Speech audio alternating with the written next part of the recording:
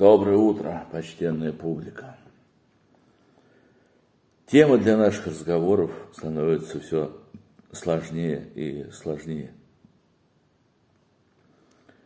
Дело в том, что чтобы понять опыт человека, который он пережил, нужно самому, по крайней мере, а, пройти некоторый путь. Мой наставник утверждал, что а, духовный опыт, он не передается от человека к человеку. То есть можно скопировать, да. Ну, как любят дикари, да, они все копируют. Они копируют и пытаются выдать за что-то свое, родное, безопасное, качественное. Хотя чаще всего, конечно, копия не то чтобы уступает оригиналу в качестве, а просто существует для того, чтобы ну, добыть себе немного денег каким-то ну, достаточно варварским методом. Да. Многое из духовного, а, накопленного человечеством. Да. Я специально не выделяю никогда какой-то отдельный христианский опыт или а, какой-то еще.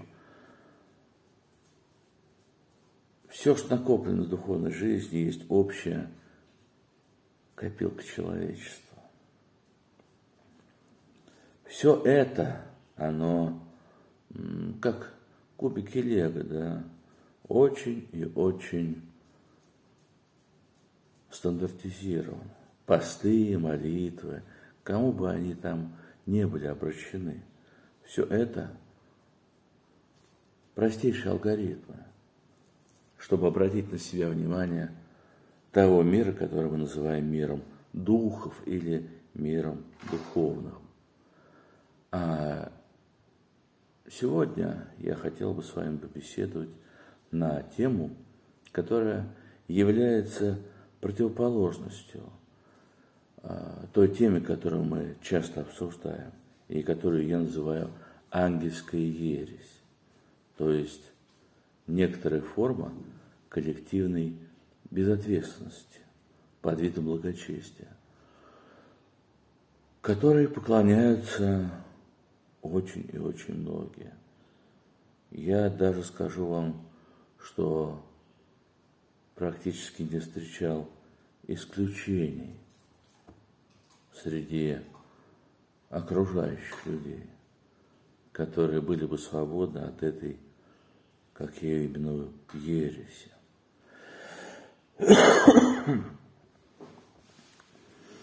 Как раз обратным является наличие сознательности и ответственности. Если истоками ангельской ереси является безотцовщина, да, э, значение которой я часто подчеркивал в наших беседах,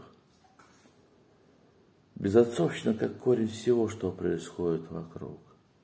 Вожди, которые оставили заботу о веренных им судьбах людей и увлеклись только красотою своих одежд, новое платье короля. Они продолжают именоваться царями, владыками, отцами. Но по сути они пасут только себя, занимаются лишь своим положением в обществе, своей внешней наклонностью к благолепию, благочестию в кавычках, конечно. Я опять же подчеркну, что я не критикую, я лишь констатирую факты. Этих фактов у меня вот, э, я даже не знаю, ни на одну книгу наберется, да, если я начну их рассказывать, да, и перечислять. Но суть в другом. Ну, пожалуйста, вот очевидный факт. Я помню, как несколько лет назад на богослужении был праздник, большой праздник, престольный праздник в церкви. И а, один чиновник, силовик из Следственного комитета пришел на службу. И зашел в алтарь и общался с священником. И когда он вышел и ушел, этот священник с таким благоговением прижимал к сердцу а, подаренный блокнот и ручку, что я просто ну, испытал отвращение. Я не видел, чтобы он прижимал кого-то из своих прихожан подобным образом. Я понимаю, что благоговение перед властью – это одна из уязвимостей ангельского мира. Они благоговеют перед силой и властью. Именно поэтому и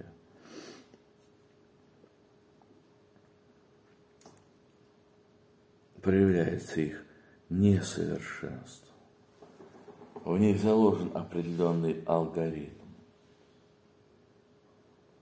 То есть для них отцом является тот, кто имеет власть и имеет силу. Это, наверное, самые основные критерии. Потому что отца узнать в правде у них так и не получилось за всю историю человечества. Да? Отца в правде познали люди. Вот они смогли это увидеть.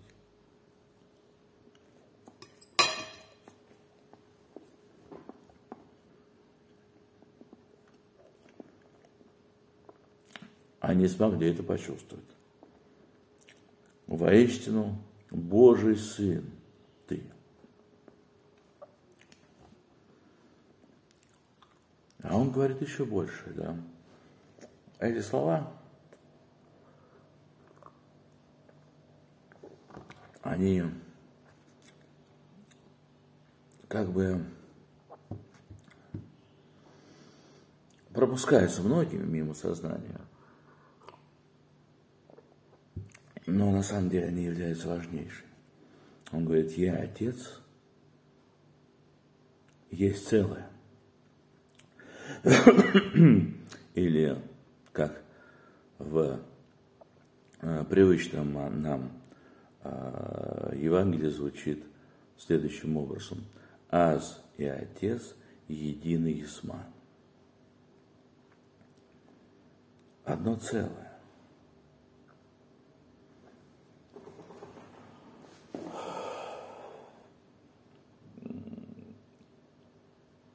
Я тоже думал как-то, а, как и прочие люди полагают, да, что речь идет здесь о двух. А на самом деле речь идет об одном. Что значит «я и Отец есть целое»? Это означает то, что Иисус тоже стал Отцом. Дела, которые Отец делает, и я делаю.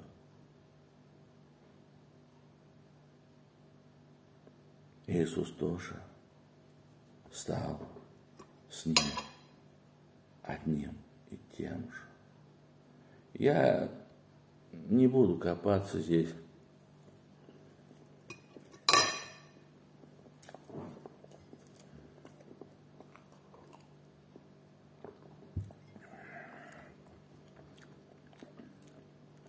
Каких-то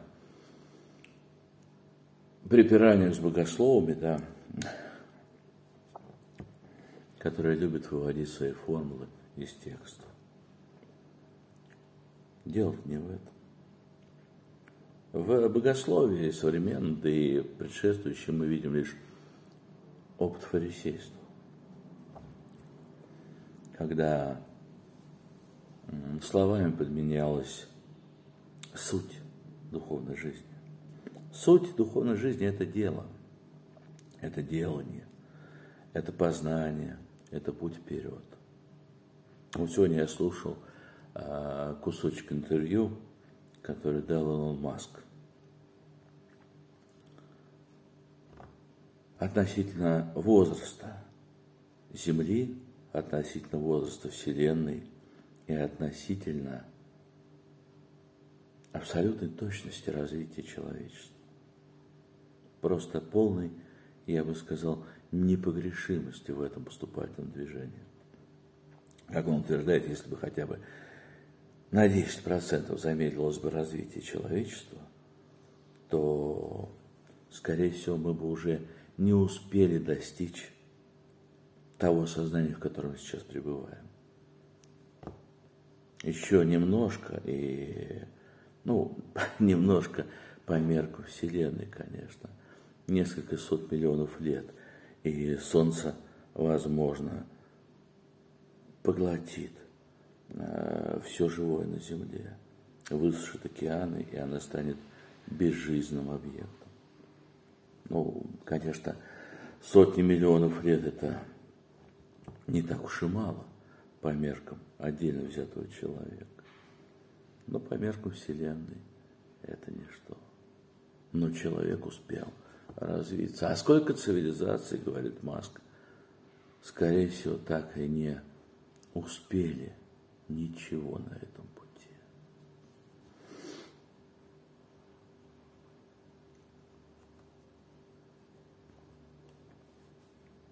И дело даже не в авторитете, да, которым он обладает. Дело не в поклонении силе, да, ведь деньги это тоже сила. И многие поклоняются именно этой силе даже в духовно-религиозной среде. Уж об этом столько сказано и писано, что не хочется даже повторять за кем-то. Я приду свои примеры. Я был в Тибете.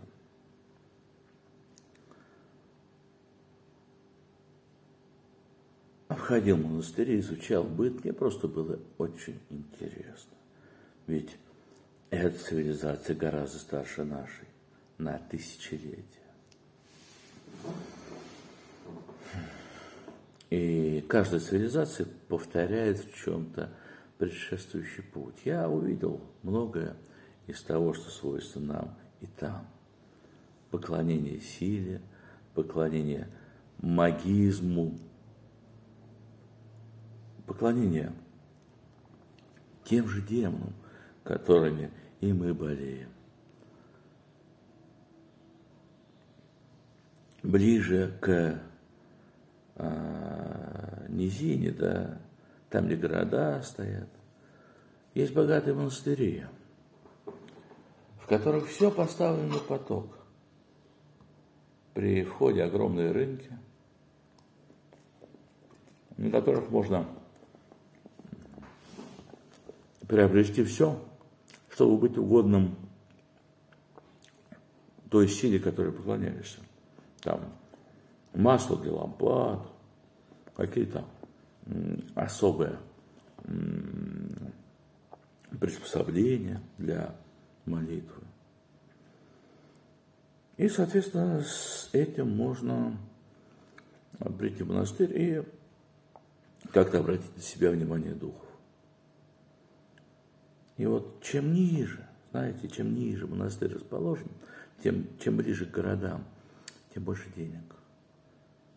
Деньги, деньги. Во все. В каждую щель засунуты купюры.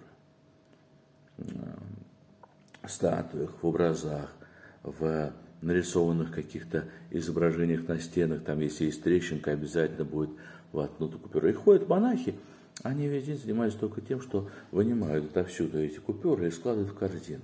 Уносят, высыпают, и тут же монах другой сортирует эти бумажки по номиналу и складывает в пачки. Особо не таясь, ну а чего? Ну, таков круговорот в Нижнем мире. И знаете, чем выше поднимаешься, там, где уже приличная высота, 4 километра, 5 километров вверх, в горы, там уже не встречаются такие монастыри. По пути есть монастыри, они меньше по своим размерам. Купюр встречается все меньше, но они там тоже есть. Иногда заходишь в какую-нибудь одинокую келью, и в ней сидит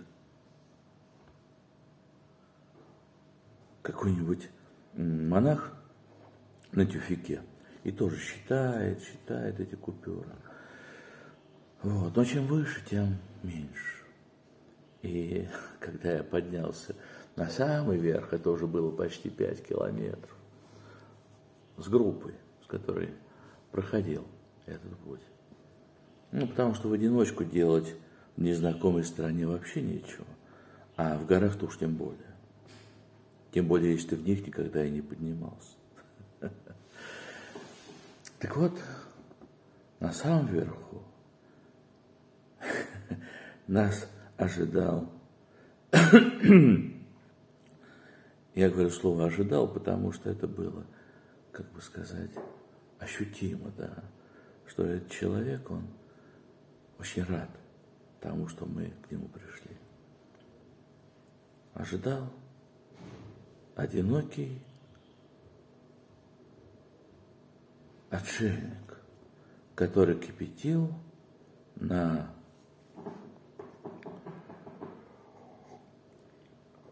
линзе из нержавеющего металла, из нержавейки, кипятил свой чайник.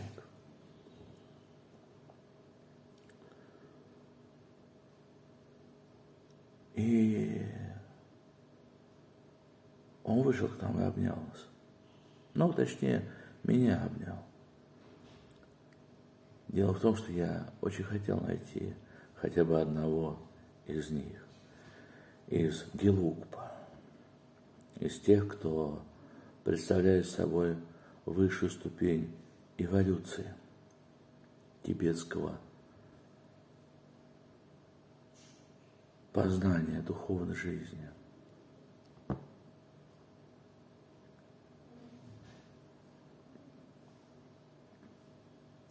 Эти люди, они э, являются самым поздним учением Тибета.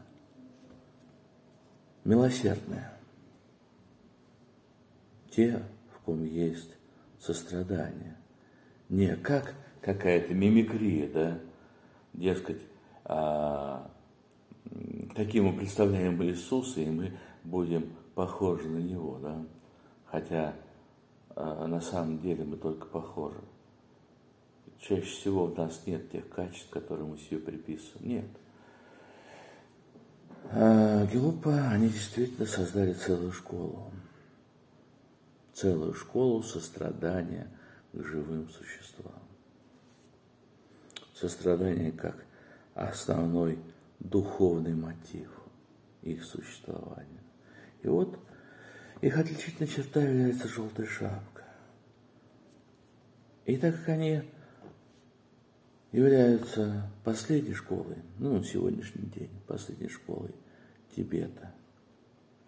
Это учение принес им Будда Цанкапа много веков назад. Много веков по меркам человеческим, а так всего несколько столетий.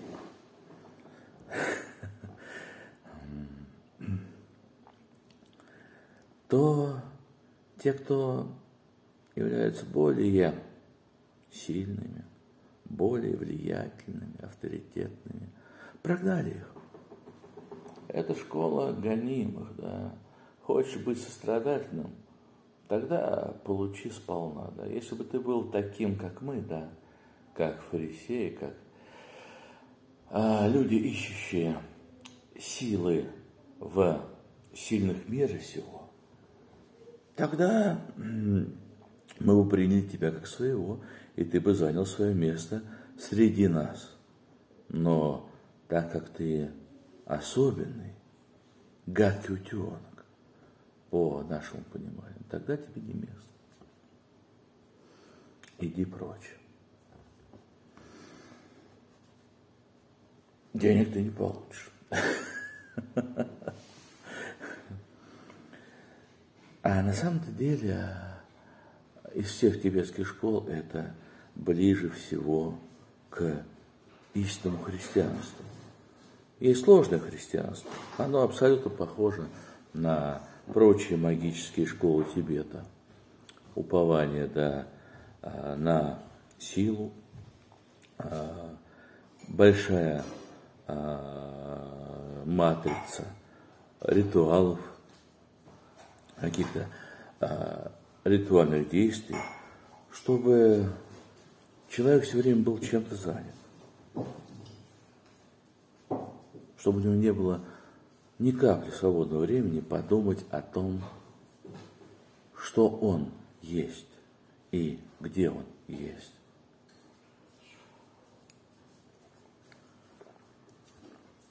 Для меня очевидно является то, что человек это пассажир на а, вот этом небесном теле, которое мы называем планетой Земля. Есть время появиться на ней, есть время покинуть эту землю. А вот как дальше быть? Это вопрос каждому индивидууму. Сегодня огромное количество информации пленяет человека, подчиняет его себе так, что он попросту теряется в ней. И самое жуткое, что информация, которая обещает ему свободу, пленяет его сильнее всего –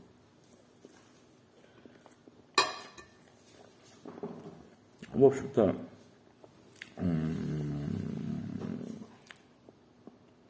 опыт Иисуса – это и есть а, освобождение от всего лишнего в религиозной жизни. Очень много того, что сделано под каким-то благим предлогом, но совершенно не имеет силы освободить человека. Напротив, больше и больше подчиняет его себе и закабаляет, лишая его самостоятельности и лишая его способности самостоятельно мыслить и критически относиться к происходящему.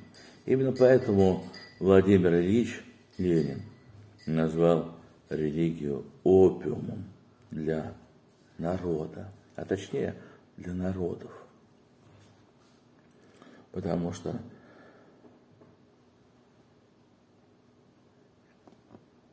вид, в котором существует да, религиозная жизнь, чаще не предполагает никакого освобождения для человека. Как я говорил, это огромная система ангельской ереси. Огромное количество людей, которые внешне добры, а по сути исполнены комплексов, в том числе и властных комплексов, и исполнены а, какой-то неутолимой злобы по отношению друг к другу. Ну и ко всему миру, прочим, да, который пытается из своих скромных сил как-то развиваться. Вот это упование на свою какую-то ортодоксальность, да, какую-то свою вот каноничность, да, да при чем здесь это, хотелось бы сказать, да. Разве происхождение – делает человека великим. Разве суть вся в происхождении? Разве Иисус был славен происхождением, а не делами, которые кроме Него никто не мог сделать, да, и не делал, точнее, не делал. Возможно, мог бы, но не делал, потому что была такая молчаливая договоренность. Никто не лезет на небо, и все довольны всем, что происходит. Можно блокнотики прижимать к груди, которые падают сверху, да. Можно изображать счастье на лицах по праздникам. Я, опять же, не критикую. Я понимаю, что то, что я говорю, может быть принято э, в штыке. Это не критика, это констатация факта. Как вот пациента осматривают, да, и констатируют факт, да, вот здесь у него, скажем так, а, здоровый орган, а вот в этом органе непорядок какой-то, да. Вот. Так и я пытаюсь объяснять, да, тем, кто все-таки хочет, да, освободиться. Самое главное, что я хотел сегодня сказать, да, и до сих пор не сказал, видимо, видимо, затянулся немножко разговор сегодняшний. А вот это самая главная тема, то, с чего начал. Быть одним с Отцом, да, мы с Отцом единое целое. Это значит самому стать Отцом. Знаете, в своей жизни я часто слышал такое. Мы в тебе видим Отца. Это мне говорили разные люди. Если бы один человек сказал, я бы, ну, просто подумал, наверное, эмоции, да, ну, может быть, чувства, да, но они все говорили мне одно и то же. Отец умер какое-то время назад, а мы в тебе видим своего отца.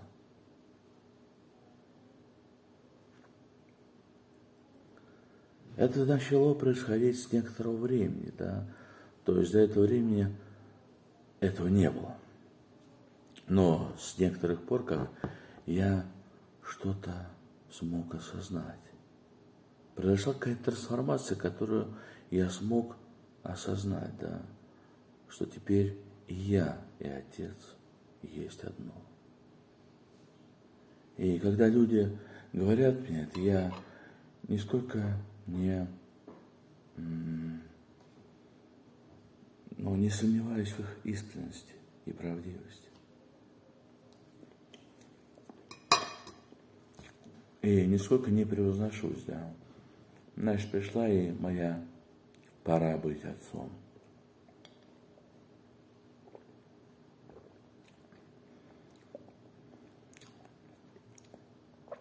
Пришло и мое время достичь этого осознания.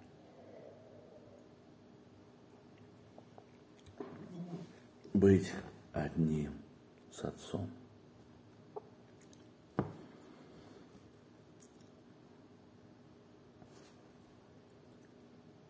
Не в плане могущества или силы.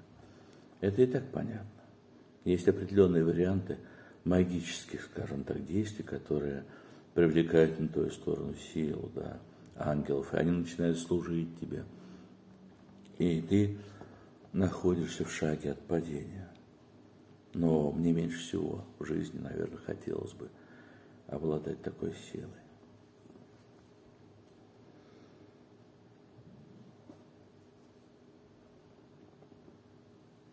Но в чем же тогда мое, да, внутреннее намерение? Я бы хотел ее раздать тем людям, которые в ней нуждаются по-настоящему. И вот я помню, да, многие люди приходили для того, чтобы обрести здоровье, чтобы обрести дух правды. Тот взгляд на вещи, который является наиболее истинным, правдивым, в котором нет лжи. Я не удивляюсь, да, как же, как же много вокруг лжи, да. Но что такое ложь, да, в религиозном мире? Это огромное количество суеверий, которым люди придают значение. Там знаков, а, каких-то действий, да, в том числе обрядов, которые для людей кажутся самым важным. Да. Ну, действительно важным. Только вы поклоняетесь-то духом, да, дежурным, ангелам, которые поставлены там а, оберегать вещи от а, забвения, да, от деградации. Но не поклоняйтесь тому, кто является отцом по отношению к этим духам, ну, в том числе и этому миру, да. Потому что познать Отца значит стать одним целым с Ним. И я не говорю, что это здорово. Человек, который получил этот дар, он несчастный человек. Потому как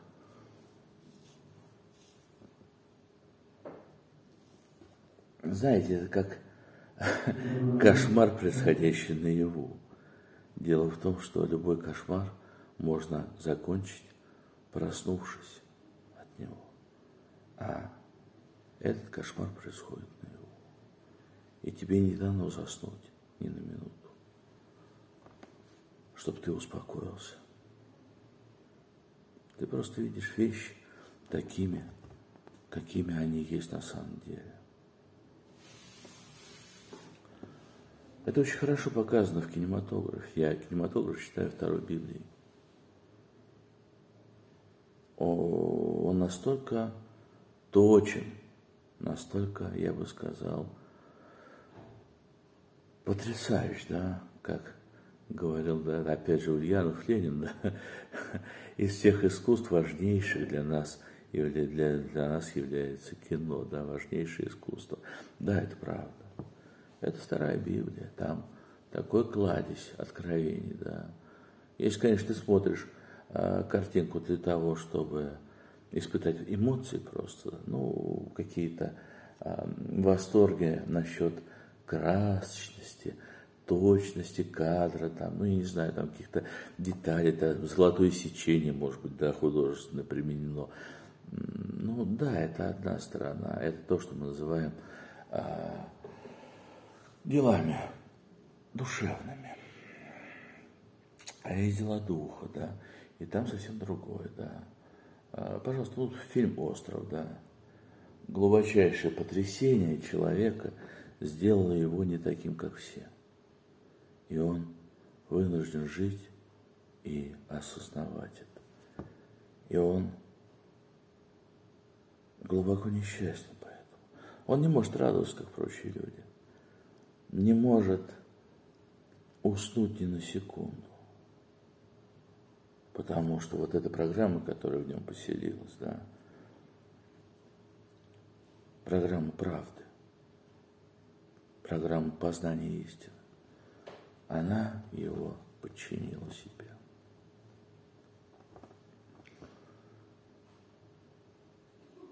Не смерть боюсь, но того, как буду отвечать за жизнь, говорит он.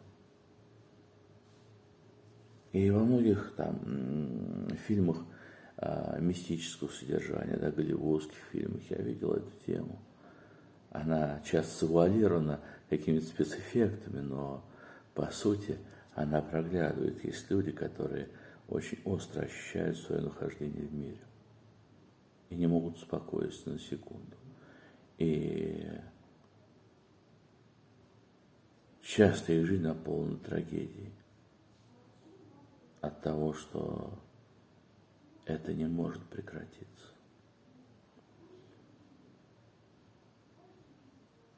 Как а, еще один фильм, да, назван, да, по, снятый по мотивам одноименной книги братьев Стругацких.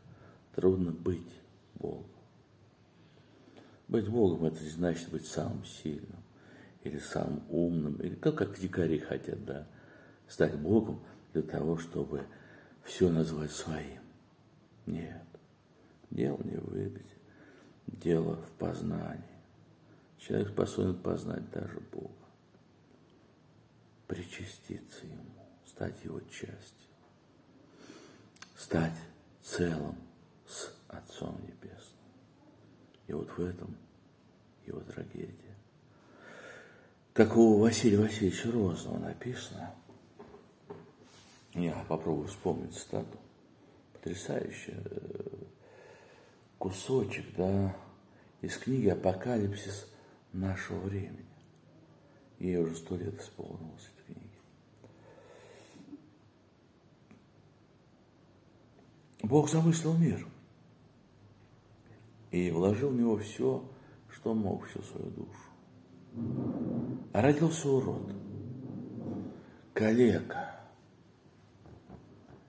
И отец смотрит на него, поделать ничего не может. И в этом вот трагедия. Человек понял Бога.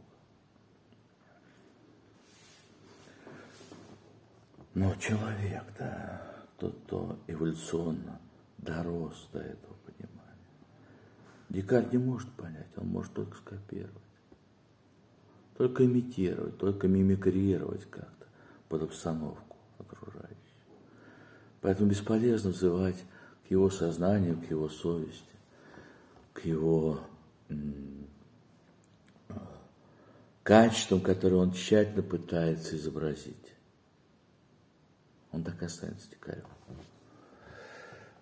Он не может преодолеть этого в себе. Я не знаю, может, милосердие Вселенной настолько велико, что он и, как утверждают некоторых формах религиозной жизни, в следующей жизни сподобится этого. Вполне может быть. Не знаю. Не хочу а, спорить ни о чем, да, потому что это не принадлежит мне, да.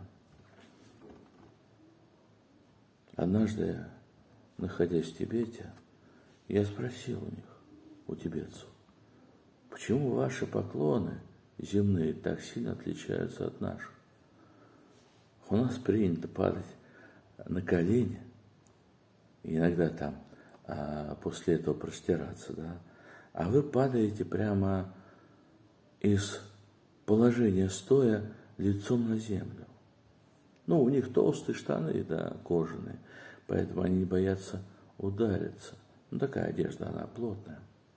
Такие как бы ватнички, там такие накидочки. А они говорят, мы же хотим стать птицами. После того, как все это кончится. И поэтому падаем на землю, раскинув руки, как птица раскидывает свои крылья. Я удивился простоте ответа и сказал, ну кто же вам запретит-то? Будьте птицами. А мы все вот пытаемся из себя изобразить каких-то послушных детей, да, только мы совершенно не знаем отца, получается так. Самое страшное, что мы не хотим его знать. Просто не хотим. В этом уже наша особенность духовной жизни. Кланяться, но стоя спиной к нему все время. Никогда не повернув лица, чтобы, не дай Бог, он нас не опознал. Это делает страх человека стать бесстрашным и есть основу христианства. Стать бесстрашным. В этом-то и есть христианство. И ни в чем другом.